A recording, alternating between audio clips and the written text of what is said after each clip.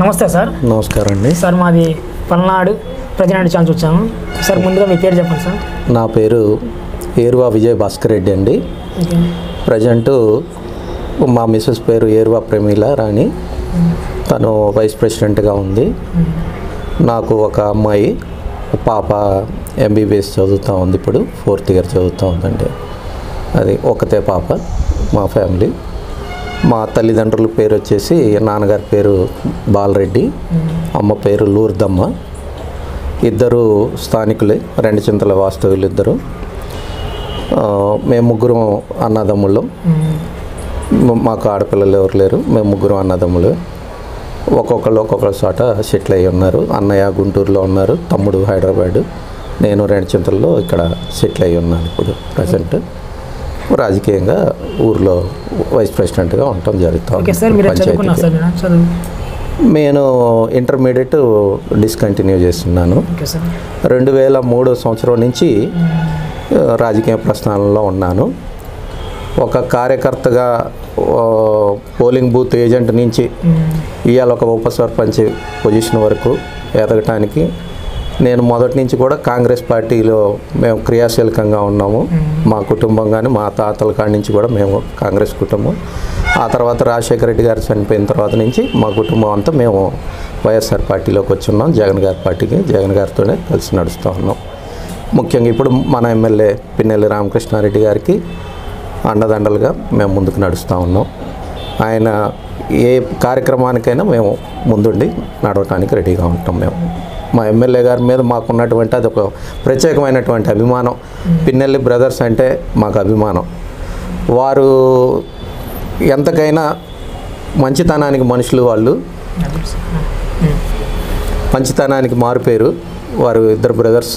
వారు నమ్మిన వాళ్ళని మటుకి ఎంతవరకైనా ఎందాకైనా వాళ్ళు వాళ్ళని వాళ్ళ వ్యక్తుల్ని కాపాడుకోవటానికి వాళ్ళు ఎంత వాళ్ళనైనా సరే ఎదిరించైనా ముందుకు వచ్చే వ్యక్తులు వాళ్ళు మన మన నాయకులు.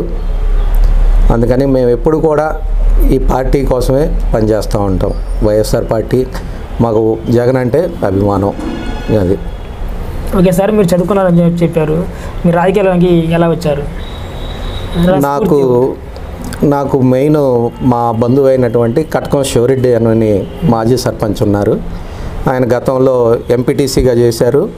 ఆ తర్వాత సర్పంచ్గా చేయటం జరిగింది. ఆయన యొక్క శిశరికం ద్వారాగే నేను రాజకీయంలోకి రావటం జరిగింది. ఆయన ద్వారాగే నేను ఆయన సర్పంచ్ అయినప్పుడు నేను ఎంపీటీసీ కోఆప్షన్ మెంబర్ అయ్యాను. ఆ విధంగా నా రాజకీయ ప్రస్థానం స్టార్ట్ అయింది. అదే కంటిన్యూ చేస్తూ ఉన్నాం అన్నమాట ఇప్పటికే. అదే. సార్ మీకు గత ప్రభుత్వాల్లో మంత్రులతో కానీ కొన్ని సంబంధాలు ఉన్నాయని తెలిసింది మాకు. వాళ్ళ గురించి వివరంగా చెప్పగలుగుతారా? గతంలో అంటే ఇక మినిస్టర్ కన్నా లక్ష్మీనారాయణ గారు మా నాన్నగారు వాళ్ళు పార్ట్నర్స్గా ఉన్నారు. మాకు నాగార్జున మిల్క్ డైరీ అని చెప్పి ధూళిపాల దగ్గర మిల్క్ డైరీ ఉండేది. దాంట్లో మినిస్టర్ కన్నా లక్ష్మీనారాయణ గారు మా నాన్నగారు వాళ్ళందరూ పార్ట్నర్స్గా ఉన్నారు. అప్పుడు ఆ నేపథ్యంలో వాళ్ళ కొడుకు అయినటువంటి కన్నా నాగరాజు వారు మేయర్గా ఉన్నారు. అట్లాగా మేము ఫ్రెండ్షిప్గా ఉంటూనే వాళ్ళతోటి రాజకీయ సంబంధాలు వాళ్ళతోటి బాగా ఎక్కువగా మేము కాంగ్రెస్ పార్టీతో తిరిగే వాళ్ళం కాబట్టి కాంగ్రెస్ పార్టీతో ఉన్నాం కాబట్టి మాకు వాళ్ళకి అనుబంధాలు ఎక్కువగా ఉండేవి. ఒక ఫ్యామిలీ ఫ్రెండ్స్ లాగా ఉండేవాళ్ళం మేము అప్పుడు వాళ్ళు అందరం కూడా. ఆ విధంగా మేము రాజకీయానికి వాళ్ళకి మినిస్టర్ గారు కూడా మాకు కొంచెం దగ్గర ఉండేవాళ్ళు అప్పుడు. ఓకే సార్ మీరు ఫస్ట్ నుంచి కాంగ్రెస్ చెప్తున్నారు. మరి వైఎస్ఆర్సీపీలోకి ఎలా ఎలా? రాజశేఖర్ రెడ్డి గారు అసలు కాంగ్రెస్ పార్టీ ఒక పునాది లెవెల్లో అసలు ఏమీ లేని పరిస్థితుల్లో మన డాక్టర్ వైఎస్ రాజశేఖర రెడ్డి గారు పాదయాత్ర సుమారుగా ప పద్దెనిమిది వందల పదహారు వందల కిలోమీటర్లు ఎంచుకొని నడి ఎండలో తిరుగుతా ఆంధ్ర రాష్ట్రం మొత్తం అప్పుడు ఉమ్మడి ఆంధ్రప్రదేశ్లో చేసినటువంటి పాదయాత్ర ప్రతి ఒక్క పేద హృదయాలని అప్పుడు పరిస్థితి ఎంతో ఘోరం. కనీసం పొలాలు పదివేలు ముప్పై వేల రూపాయలకు మించి ఒక రూపాయి పెంచుండేది కాదు. వాటిని సేద్యం చేయడానికి ఎవరు ముందుకొచ్చే రోజులు లేవు అప్పుడు. అలాంటి టైంలో ఆయన ప్రజల మనిషిలాగా రైతే లేనిది వే- రైతు వెన్నెమ్మక లాంటి వాళ్ళు అలాంటి రైతులు ఇక్కడ ఈ రాష్ట్రంలో కుంగిపోయి ఉన్నారన్న ఉద్దేశంతో ఆయన బ బలహీన బడుగు వర్గాలందరికీ కూడా ఒక ఆశ కిరణం ఆశ వాళ్ళకి కలగాలి. ఏ విధంగా అయితే ఆయన పాలన చూడాలి అనే దానికి ఆయన చూపిస్తానని చెప్పి జనాల్లోకి రావటం జరిగింది. ఆ విధంగా ఆయన చేసినటువంటి కార్యక్రమాలు కానీ ఆయన ఆ తర్వాత ఆయన ముఖ్యమంత్రి అయిన తర్వాత ఆయన పథకాలను చూసి కానీ మేము బాగా ఆకర్షితులయ్యాము ఆయనకి అభిమానులయ్యాము. ఆ తర్వాత వారి తన కొడుకుకి కూడా మేము అదే విధంగా ఆకర్షితులయ్యి ఆ నాయకత్వంలో మేము నడుస్తూ ఉన్నాము ఆ విధంగానే మేము ఆ తర్వాత రాజశేఖర రెడ్డి గారి మరణం తర్వాత మేము జగన్ గారి పార్టీలోకి చేరటం జరిగింది. ఆయన ఎప్పుడైతే పార్టీ పెట్టారో మా ఆ నిమిషంలోనే మేము కూడా వెంటనే నా ఎంపీటీసీకి కూడా నేను ఇమీడియట్గా రాజీనామా చేసేసాను అప్పుడు రెండు వేల పన్నెండులో. వెమ్మట్టే నేను జగన్ గారి పార్టీలో జాయిన్ అవ్వటం జరిగింది వైఎస్ఆర్ పార్టీలో. ఓకే సార్ ఈ ఈ ప్రభుత్వ పరిపాలన ఎలా ఉందంటారు మీ మాటల్లో?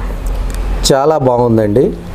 ఎందుకంటే అడిగింది అడగంది తడువుగా అన్నట్టుగా జగన్మోహన్ రెడ్డి గారు ఎంతోమంది బలహీన వర్గాలకు సంబంధించినటువంటి కుటుంబాలు ఎన్నో ఉన్నాయి ఆర్థికంగా చితికిపోయినటువంటి వాళ్ళు.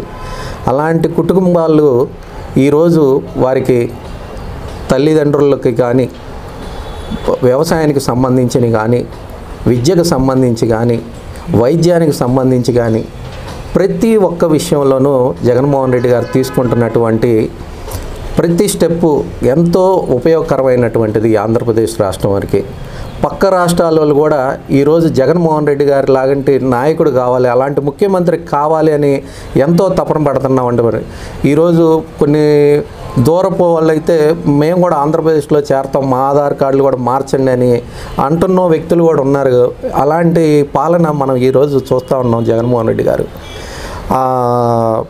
వైఎస్ఆర్ ఆసరా కానీ చేయుత కానీ అమ్మఒడి పథకాలు కానీ ఎన్నో ఈ కార్యక్రమాలు ఇలా చెప్పుకుంటూ పోతే టైం సరిపోదు బహుశా. ప్రతి వాళ్ళు కూడా ప్రతి వర్గానికి సంబంధించిన వాళ్ళు కానీ ప్రతి కులానికి సంబంధించిన వాళ్ళు కానీ ప్రతి ఒక్కరు కూడా ఆంధ్ర రాష్ట్రంలో సుభిక్షంగానే ఉన్నారు. కానీ కోవిడ్ పాండమిక్లో అలాంటి పరిస్థితులు ఉన్నప్పటికీ కూడా ఏది మాట ఇచ్చినా కూడా ఆ మాట తప్పకుండా ప్రతి వారికి ఒక క్యాలెండర్ కేటాయించి ఆ క్యాలెండర్ ప్రకారంగా ప్రతి మాటను నెరవేరుస్తున్నటువంటి నాయకుడు మా మా నాయకుడు ముఖ్యంగా. మా నాయకుడు వెంట మేము ఎప్పుడు ఉంటాం.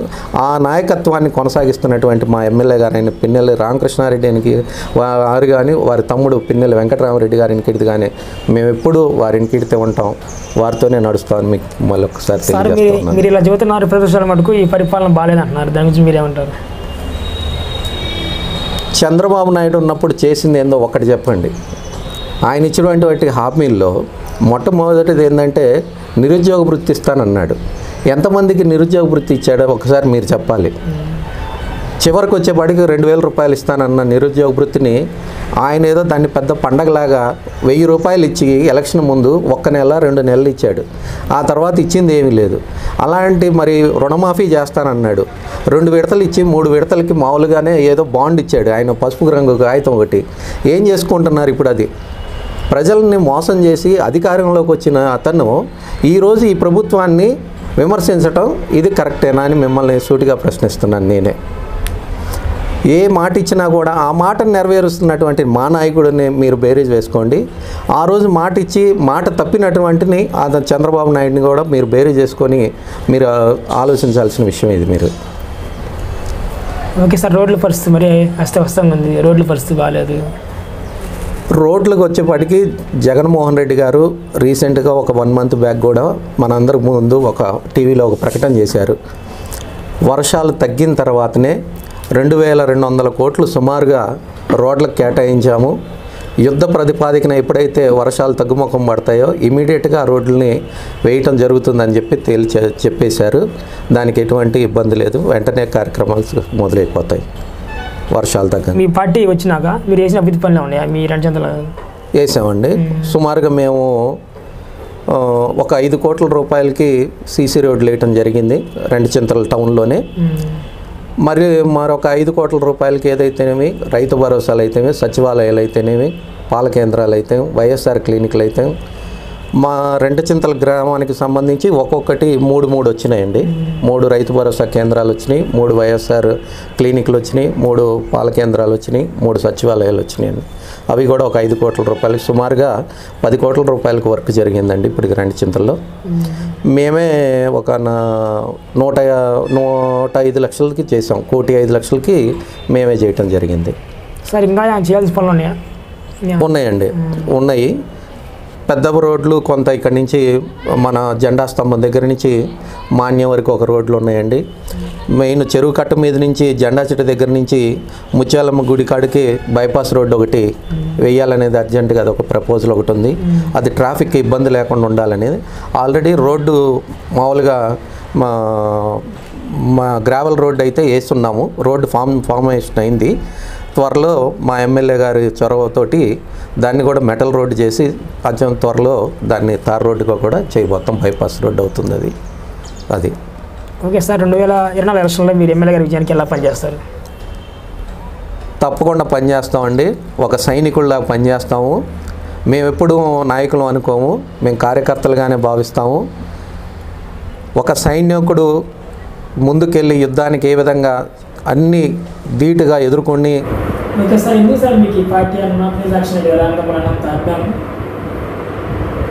దాని గురించి చెప్పాలంటే మనకి వంద రకాల వంద కారణాలు ఉన్నాయండి.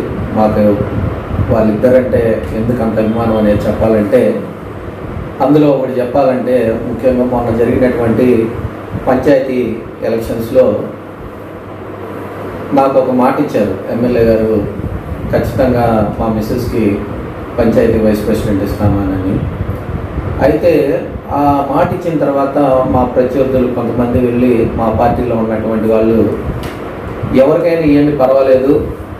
విజయ్కి మట్టికి ఇవ్వమాకండి. ఎవరికిచ్చినా ఎవరికి ఇచ్చినా పర్వాలేదని అన్నప్పుడు ఎమ్మెల్యే గారు కానీ వాళ్ళ బ్రదరు వెంకటరామరెడ్డి గారు కానీ పెద్ద మనసుతోటి లేదు. మొదటి నుంచి పార్టీని నమ్ముకొని ఎవరైతే ఎలక్షన్స్లో కానీ పార్టీ కోసం నిరంతరంగా కృషి చేస్తూ ఉన్నారో వాళ్ళందరినీ దృష్టిలో పెట్టుకొని ఖచ్చితంగా మేము మాటిచ్చాము.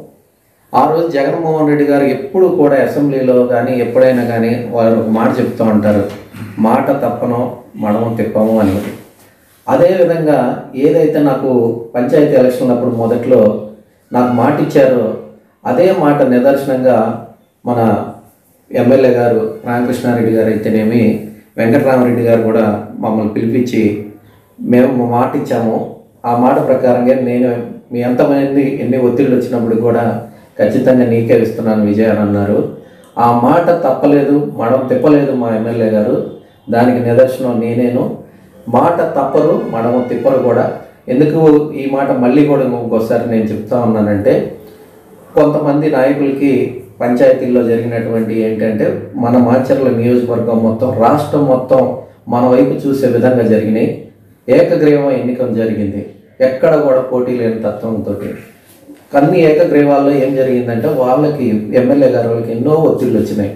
అందరూ సమానంగానే ఉండాలి. ఒకళ్ళు ఎక్కువ ఒకళ్ళు తక్కువ కాకుండా కానీ కొంతమందికి మొదటి జరిగింది. కొంతమందికి వెనకాల ఇవ్వటం జరిగింది. రెండున్నర రెండున్నర ఇచ్చారు. మూడు రెండు అలా ఇవ్వటం జరిగింది.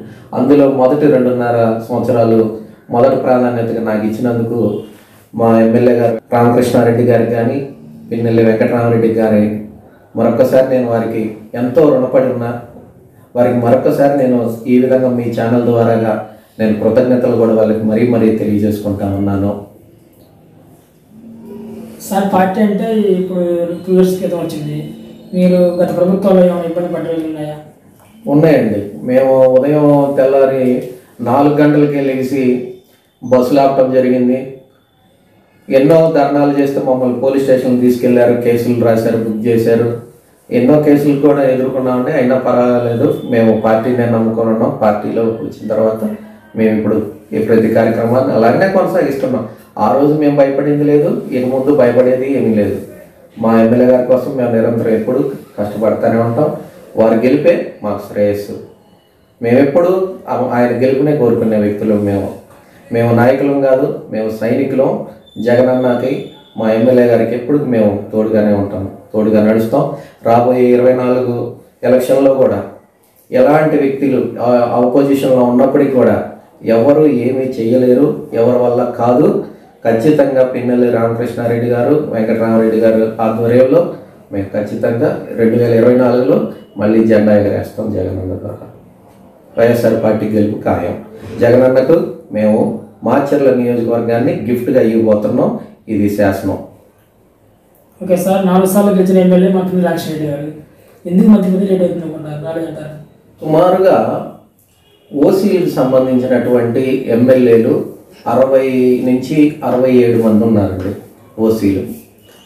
నూట యాభై ఒక్క సీట్లలో అరవై ఏడు మందిలో అరవై ఐదు అరవై ఏడు మందిలో సుమారుగా ఓడిపోయినటువంటి ఓసీల్లో ఒకళ్ళే ఒకళ్ళు విశ్వేశ్వరరెడ్డి గారు ఓడిపోయినారు.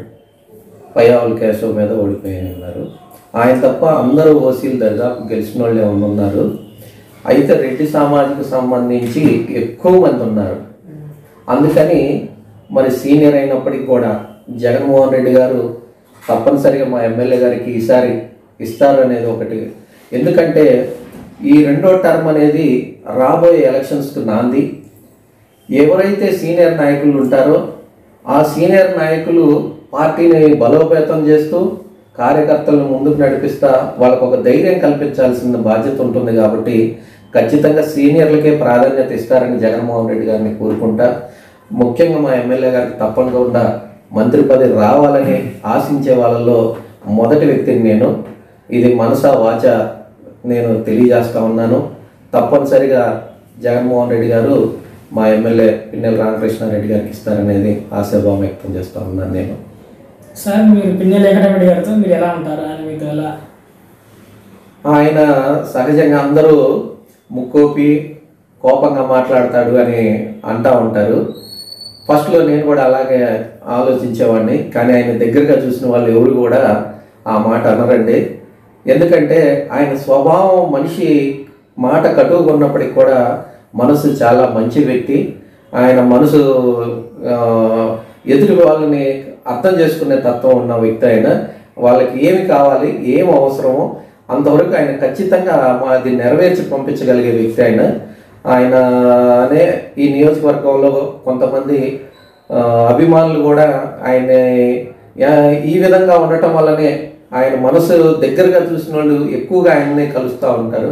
ఆయనతోటి ఖచ్చితంగా ఆయన అది కలిసి ఆయనతో మాట్లాడటం జరుగుతూ ఉంటుంది. వెంకటరామరెడ్డి గారి మనస్తత్వం చాలా మంచిదండి. సార్ ఈ పొలంలో మీరు తిరుగుతూ ఉన్నాం ఎక్కడ పెట్టినా పిల్లలు వేసుకుని పోల్చి చూతుంటారు. అంత అభిమానం ఏం సార్ మీకు వాళ్ళంటే? ఈ పల్నాడులో. వారి కుటుంబము రాజకీయ నేపథ్యం అండి వారి కుటుంబం. వాళ్ళు ఫస్ట్ నుంచి కూడా వాళ్ళ బాబాయ్ గారు తర్వాత వాళ్ళ పెద్దనాన్నగారు కానీ మళ్ళీ మన ఎమ్మెల్యే రామకృష్ణారెడ్డి గారు కానీ వాళ్ళ కుటుంబం రాజకీయ నేపథ్యంతో కూడింది కాబట్టి వాళ్ళకి ప్రజల యొక్క కష్ట సుఖాలు తెలిసిన వ్యక్తులు మొదటి నుంచి వాళ్ళు ప్రజల్ని ప్రేమిస్తూ ఉండే వ్యక్తులు వాళ్ళు.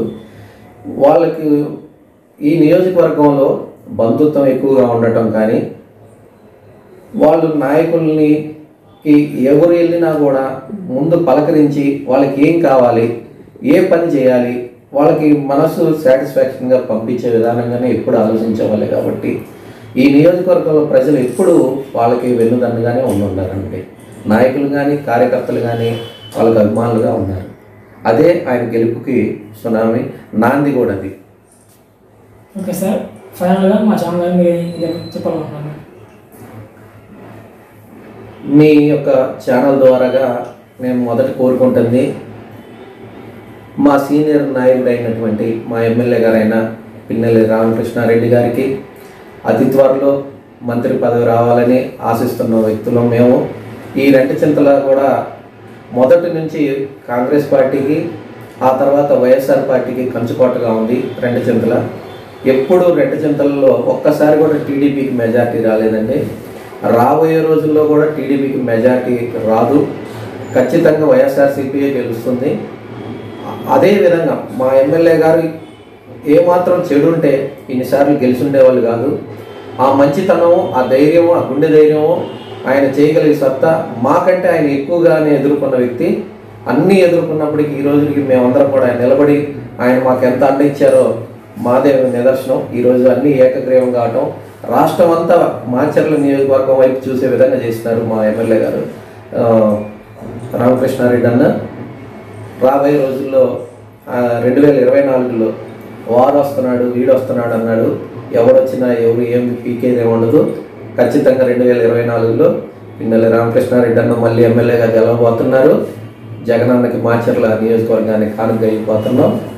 ఫ్యాన్ గుర్తు ఖచ్చితంగా విన్ అయిపోతుంది మాచర్ల నియోజకవర్గంలో. జై జగనన్న జై పిఆర్కే జై పీవీఆర్.